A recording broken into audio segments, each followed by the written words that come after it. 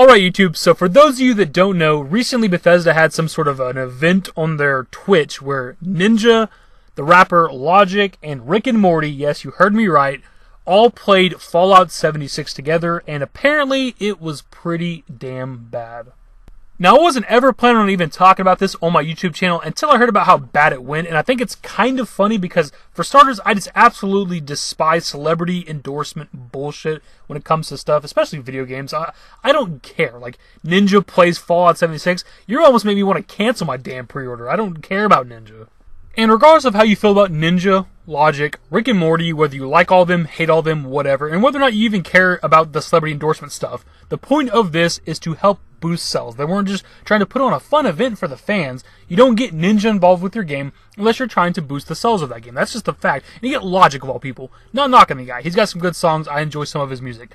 Logic is not just like this well-known gamer or anything like that. And then Rick and Morty of all things, like get the voice actor to do both Rick and Morty's voices over the stream the entire time. Like it's just a weird scenario. And that was part of the issue here is that these three guys don't click. They don't coincide. They're not they don't have good chemistry with each other. And that was the main issue here. There's a lot of awkward silences during this stream. And I'll be completely transparent. I'm not a Rick and Morty fan at all. It's not really relevant, but I've tried to watch it, could not get into it. But credit to Justin Roiland, who's voicing Rick and Morty during the stream. I guess he voiced on the show, obviously, too. Like, he tried. When there's awkward silences, he tried to fill it in with jokes and to be entertaining. Credit to him, man. He tried. The other two, Logic and Ninja, like, it was almost like they were nervous or scared or something. Now, some of his jokes did fall flat, like he'd bust a joke and like Ninja and Logic wouldn't even respond. They wouldn't even acknowledge his existence, which is kind of crazy. And it, it kind of showcases why you don't do these type of things. And look, all three of them are entertainers in their own way, but what Ninja does, you know, live streaming video games to an audience of people who like video games is very different from, you know, Logic doing a concert or the voice actor recording lines. I don't even know if he does like maybe stand up comedy. I don't know what this guy does. But there's a drastic difference between what they do. And I'm not trying to say that live streaming video games is necessarily hard or anything like that, but it's just a different kind of thing. And it shows like I don't know if these guys play video games in their free time. For one, they had to teach Logic how to play the game. Like he literally didn't even know how to cure his rads. That's how like last minute of a celebrity he was to get to do this. Like he didn't even care to research Fallout at all. He didn't even know how to get rid of his own radiation, which is kind of embarrassing on both his part and Bethesda's. Not to mention the stream was also 20 minutes late, which is pretty ridiculous, especially when you're trying to get people hyped up for this game, have all these celebrities playing the game, and then you're late to your own damn stream, which is, they're probably busy guys, but the point is, the stream was 20 minutes late.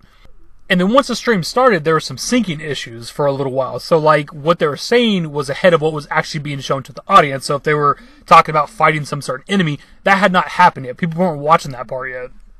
And then at one point during the stream, there was an overlay issue, which I'll put on screen for you guys so you actually see what I'm talking about. That was on screen for like 10 minutes or more. I don't even know how that happens for that long without being resolved.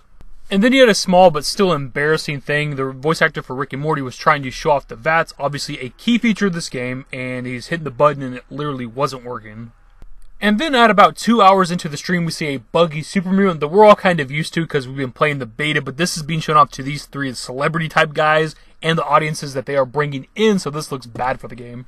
And then I know at one point Ninja's game actually crashed during the stream and he had to completely restart and load back into the game, which is very embarrassing for Bethesda, Fallout 76, and Xbox who's being advertised at the bottom of the stream the entire time.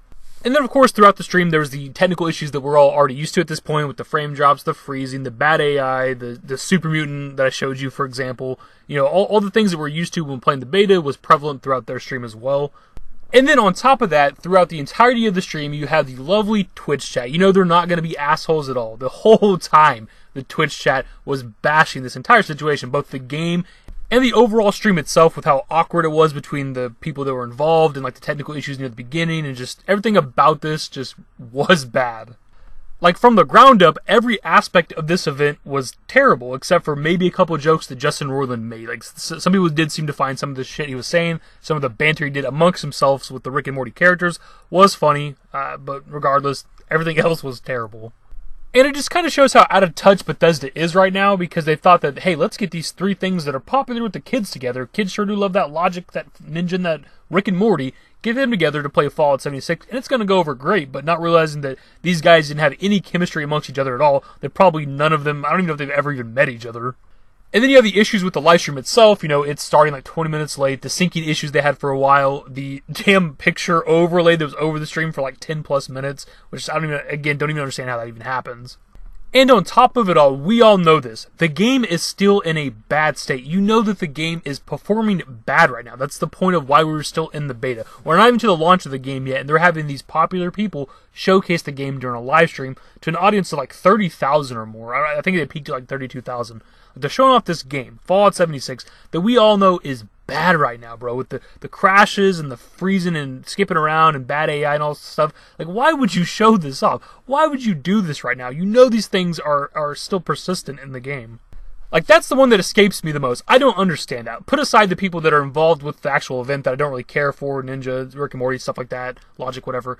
Like, you know that the game is going to perform badly in front of all these people. Why are you doing this event? What the hell was going through Bethesda's head? And like I said, I found this funny because Bethesda's out here worried about marketing the game. Let's get these three famous people to play the game and it'll help boost sales instead of just focusing on fixing the damn game. Fix the game. Worry about your core audience. Quit trying to market to people that are outside of the Fallout and Bethesda community. Just market to your core audience and make the game good. That's all that matters, man because it's completely irrelevant how many more cells these three guys can bring to Fallout 76. If the game is performing like it is right now, too long after release, the game is going to die. It's always going to have its player base. There's always going to be those people who just don't care and those play the game forever, essentially. But if the game is still performing like this a couple months after release, a lot of the core, like, big group of people that are playing the game are going to go away because they just don't want to deal with the bullshit. People have already left. People you know, canceled their pre-order, stopped playing the game during the beta. People that were watching this live stream event because of how badly the game was performing were in the Twitch chat saying they're canceling their pre-orders. It's already happening before the game's even come out. And you guys out there that are subscribed to my channel, you know I like this game. I'm excited for this game. I don't want it to fail. I want the game to succeed. I've always looked forward to a multiplayer Fallout. I want it to be a good game. But it's going to launch in the state. That's 100%. It's going to be like this on the launch. Will they be able to fix it within the next few months? I don't know for sure. And what I hope is with this event, regardless of how big or small, I hope this gave Bethesda some sort of dose of reality. You can't just throw money at a game, market a game as much as you want, and hope it does well, because this had to be more detrimental than it was helpful. And just so we're clear, guys, this isn't me attacking Bethesda for this one situation. You go back on my channel a couple months, I made a video complaining about them partnering with UFC and Robert Whitaker for pretty much the same reason. I don't like celebrity endorsement shit. I'm not going to buy your product because Enter Celebrity name here is using this product. Anyways, guys, I just want to talk about this. I found it kind of funny. I know some people out there were excited to watch this event, which is fine. You're allowed to be a fan of whatever you want. I'm not here to tell you otherwise. But clearly, Bethesda wasn't even prepared to hold this event given all the technical issues surrounding it. And then, like I said earlier, the game has a ton of problems still. So why would you hold this event anyway? You know it's going to be a dumpster fire before it even begins. Either way, guys, that's the video. Leave your thoughts in the comments below. And if you guys enjoyed the video, give it a thumbs up. Subscribe to the channel if you guys are new. Turn on notifications. Follow me on Twitter at the Dashing David. At my Discord. Links to my social networks are in the description and in the outro. Later, guys. Traps. Oh, There's booby no. traps. Why are you, Morty? Why are you saying traps? Oh, weird. Traps. you sound like if it was Wisconsin. Yeah, you got oh, an accent yeah. all of a sudden, Morty. Oh my no, god, I, Rick. I, I, I picked that up because I've been watching a lot of um, this one show with people from Wisconsin on it. I'm gonna die here. Oh my